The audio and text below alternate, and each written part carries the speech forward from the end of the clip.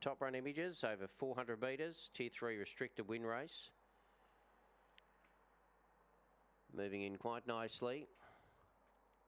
Woodley sell the reserve at a big price, number 10. And we're set to go. There's the green light, ready for a start.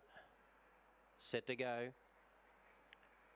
Racing, Jackson's Valley was worse than midfield away, showing good pace on the inside. Tim Tam Sam's the leader. A length and a half to Rock Me Xanthi, and now getting through Jackson's Valley runs on okay.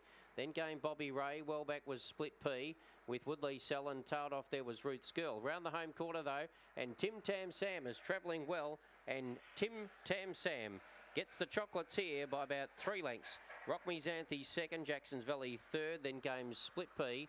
Wellback Bobby Ray with Woodley selling tailed off there Ruth's Girl and the race time is around 22 and 74. So the winner here will be number one Tim Tam Sam for Connie McNi uh. Uh, so well done to Connie there. Uh, Connie McMillan training the winner at around about $5.10 by Cosmic Rumble Obama's Girl. And uh, a nice win there. Three wins from 34. One, seven, four, and